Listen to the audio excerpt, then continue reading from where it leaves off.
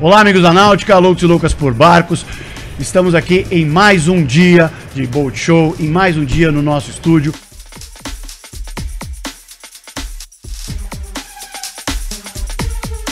Estou com o José Eduardo, o Zé da Mestra, o proprietário do estaleiro Mestra de Pederneiras, que anda fazendo muito sucesso, que já foi até para o Rio Boat Show esse ano, de tanto barco que estava sendo é, pedido, consultado e foi, inclusive, tentar ah, angariar e conquistar o público nas águas do Rio de Janeiro. Zé, muito obrigado pela presença. Vocês que estão aqui com um stand mais uma vez presentes, com um stand maior, com mais modelos. E por falar em mais modelos, já de cara, quero dar as boas-vindas e quero que você já comece abrindo o jogo para falar para o pessoal o que, que tem de novo no seu novo e grande stand aqui no São Paulo Boat Show. Boa tarde. Boa tarde, Guilherme. Tudo bem? Prazer estar aqui falando com você uma referência do mercado náutico brasileiro, da informação náutica, da instrução náutica. Então eu me sinto muito feliz de estar aqui próximo a você nesse É um momento. prazer. A mestra veio realmente para o São Paulo Boat Show esse ano com stand bem maior que os outros, praticamente o dobro do ano passado. Trouxemos todas as lanchas da nossa linha, que são desde a Mestra 160 Fishing, a Mestra 180, a Mestra 198, a Mestra 200 que foi lançada aqui o ano passado, Sim. a Mestra 212, a 222, a 230 e a 240, que por sinal tem um teste seu e é um grande sucesso de vendas.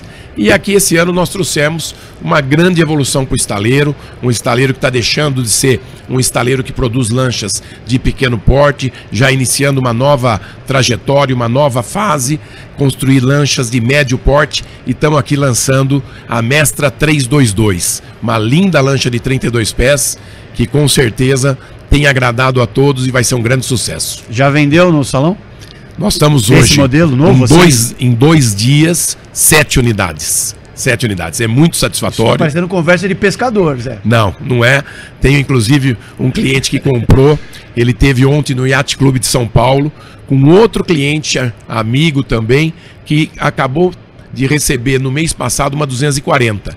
240 dele está com 5 horas.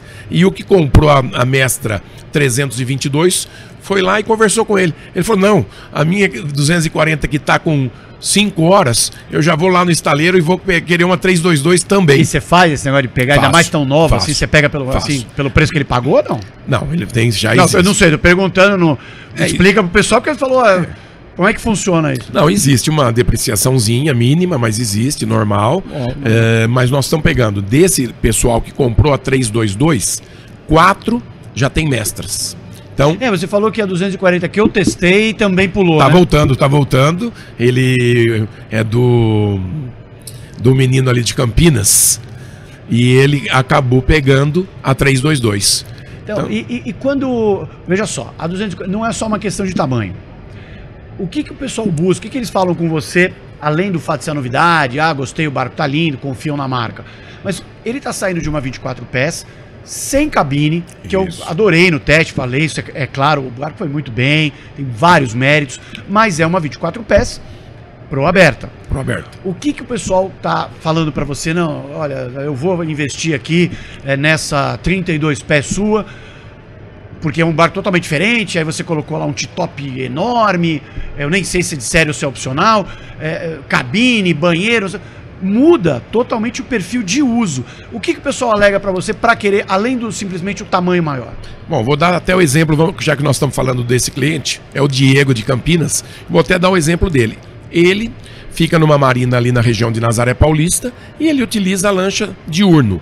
Agora ele vai praticamente o final de semana todo utilizar a lancha, dormindo na lancha. Porque ele não tem a casa, ele vai só para usar a lancha na marina. Tem muita Exatamente. gente que tem a casa, a lanchinha não é o ca... Ah, entendi, ele substitui a casa. Substitui a casa. Então Ah, ele entendi. vai, tipo, Então esse é o sexta-feira. argumento que o pessoal tá- Sexta-feira para Marina, ele vai ter a casinha dele dentro da 32, que tem uma cabine principal com 1,90m, Tem, né? tem um banheiro com 1,80m, com box, chuveiro com box, tem uma cabine principal com 2 metros por 1,90m, uma meia nau bem confortável, 1,5 por 1,90, bem completa, micro-ondas, frigobar, é, cooktop. Então um barco que vai dar realmente para se passar uma dias, casinha. é uma É. casinha. para um pessoal que pô, tá evoluindo de uma 24 pés é realmente muito legal. Eu, durante muito tempo, usei um barco até menor, é, muito parecido, mas, mas- e usava de casinha, ia mergulhar na Laje Santos, fazia pernoite, e, e assim vai. Ia passar carnaval em Ilha Bela. Um barco desse aí, até um pouquinho menor, mas com um perfil muito parecido. Então, realmente entendo se Isso. é a falta da casa para substituição da casa. Ele Aí consegue, faz sentido. consegue ter a casa. E essa marina em Nazaré, das sete vendidas, três vão para a mesma marina. Ah, Daqui a pouco vai chamar. Você vai fazer uma joint venture na Marina, porque daqui a pouco vai ter que pegar o É. Só espaço vai, mestre. Só lá, vai né? ter mestra lá, só vai ter Bom, mestra. lá. bacana. E me fala um pouquinho, é, evoluindo, né, falando não só também de São Paulo Boat Show, que eu lembro que eu fiz o vídeo, você lançou a 16, a 160 Fishing na Raia Olímpica da USP, né, naquele 2020. super diferente 2020. Aí ano passado a, a, du- a 200. 20, a 200, esse ano a 322. A, a- o plano da mestra, só perguntando aqui se é o plano, que às vezes não é, tem uma maturação. É lançar um produto por ano, assim, lançando num boat show. Com certeza. Ah, nossa ideia era lançar um barco entre 28 e 32 pés. Nós acabamos optando pela 32 Maior. pés. Eh, ficou essa lacuna entre 24 e 32, mas o que nós estamos sentindo, e esse Boat Show tem sido muito importante para isso, a gente, nós estamos sentindo se os, os proprietários de 230 e 240 conseguem migrar para 322. E o que nós estamos sentindo? Estão migrando. Então, o Ou seja, próximo. O- Essa lacuna está sendo naturalmente preenchida. Preenchida, Não, então- não é mais lacuna. Não é mais lacuna. Então ele pula já da 24 para 32, da 23 para 32, e isso já define o nosso próximo passo. É, pode ser essa história da casinha, né? Todo mundo falou, bom, eu posso ter a casinha, Sim. posso ter a casinha, não, compra o imóvel, compra a lancha, comprar os dois, manter os dois ou manter um só. Perfeito, perfeito. E usa pouco tempo, então, é, porque você vai usar também, ah, fica para usar muito tempo, fica apertado. Para usar pouco tempo, é legal. Vai bem, vai bem. O raciocínio é interessante, hein? Sim. Você acabou tirando no, no coelho e acertando no elefante, por mais politicamente incorreto que seja de um fora. Tem- So- Somos contra a caça, mas ainda podemos fazer o comentário. Não é isso? É, nós pensamos muito nesse projeto, um projeto bem elaborado, bem criterioso, a fabricação dos moldes com muito trabalho, muita dedicação. Você observa o barco não tem uma ondulação, barco perfeito. Que tipo de motorização você vai colocar lá? Nós temos duas opções, ou um 380 HP ou parelha de 250 Não, HP. 380 é um Big Block. Big Block. Ou parelha de 250. Então, 250? do, parelha de 250. Vai ficar um belo barco. Forte, hein, 250. Forte, forte. Vai navegar muito. Eu acho que vai ficar muito forte. E eu, quero, inclusive, que você teste no mar esse Você barco. sabe o que seria legal? Se você, quando você tiver as duas, a gente fazer um, o teste de uma e navegar na outra e fazer a comparação, dar o número Nossa, das duas fantástico. e fazer comparação. Porque eu fiz isso há muito tempo atrás, há 11 anos atrás, numa 27 pés, que hoje não fabrica mais, que era a versão com o motor centro rabeta e a parelha de, de popa, que no caso era uma 150, era um parelha de 150, uma 27. E é muito interessante. E o pessoal gosta de ver. Ele fala, ah, deixa eu. Ah, fiz uma dessa também da Cessa, que era aquela Key Largo 27, que eles também tinham a mesma centro rabeta, um centro rabeta ou dois, uma parelha 150. Opa. E, é, e a parelha popa, é. E tem diferença. Tem diferença de comportamento, de manobrabilidade, um pouco de consumo.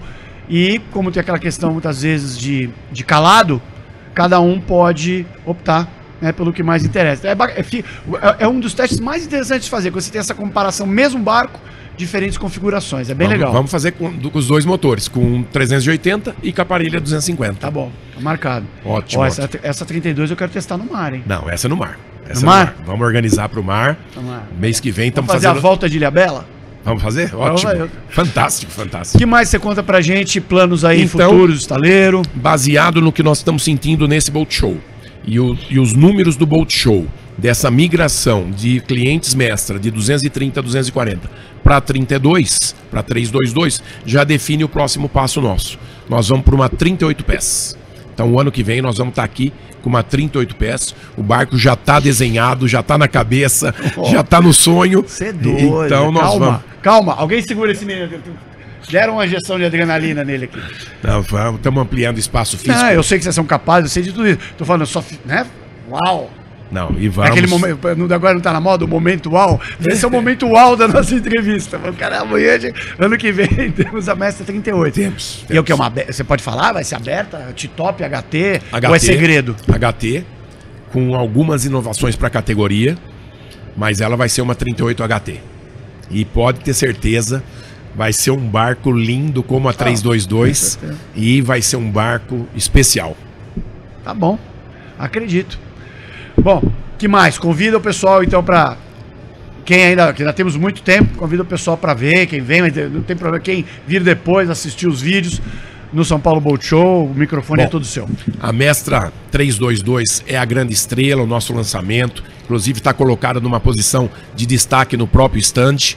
Convido a vocês que estão aqui nos acompanhando que realmente venham conhecer um barco diferente. Um barco que tem inovações para a categoria, um barco muito bem construído, com muita visibilidade de dentro.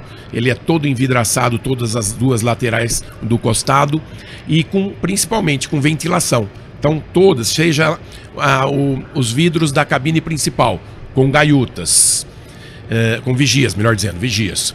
O banheiro com vigia e a cabine meia-nau, Isso é as duas importante. com vigias. Importante. Então, um barco se ventila, um barco com espaço interno fantástico, um barco com, uma, com um solário de proa maravilhoso, com um passadiço É, eu- seguro. Eu, gostei, eu gostei bastante. Gostei. Passadiço bem seguro, bem amplo, dá segurança para criança, para idoso e até o solário de proa. Uma praça maravilhosa, confortável. é, cabe as 14, 15 pessoas programadas para o barco. Uma, um espaço gourmet muito bonito. E, tem promoção de lançamento? e tem promoção de lançamento. Tem? Os preços. de verdade? Todos. Não é aquela história de, de, de Black Friday esquisita, né? É Não. Tudo pela metade do dobro. É tudo pela minha dor. Não, não, os preços que a mestra veio realmente para o São Paulo Boat Show em Foi toda pra conquistar mercado. em toda a linha realmente é diferenciado. É diferenciado. É. Desde a Fishing 160, eh, a Mestra 180, toda a linha completa, a própria eh, 240, com uma condição que não existe. Somente durante São Paulo Boat Show. Depois volta tudo ao preço normal. São Paulo Boat Show é o lugar de fazer bom negócio. É oportunidade, é o momento. Zé, muito obrigado. Um forte abraço, parabéns. Eu já dei uma passada lá, né? Aquela minha velha sapiada curiosa, que você sabe que eu já chego lá, é, é, olhando. Deixa eu ver isso, deixa eu ver aquilo, como é que. E ficou muito bacana. Parabéns, eu sei o quanto você se esforça, o quanto você se dedica pessoalmente Pessoalmente. a- aos assuntos. As pessoas não sabem, mas eu vou contar um segredo que o Zé que atende pessoalmente o Instagram do estaleiro. Você mandar uma mensagem lá, é ele que tá lendo, que vai te responder, o que é muito bacana. Então, sucesso, mais sucesso. Parabéns e um ótimo salão para você e ótimos novos projetos. E eu espero ansiosamente o teste da 322. Vamos fazer junto Vou esse teste. com. vou- estou, estou muito curioso, muito afim de fazer esse teste. E vamos fazer com os dois motores. Vamos. Guilherme, Fechado. é um grande prazer estar aqui Obrigado. com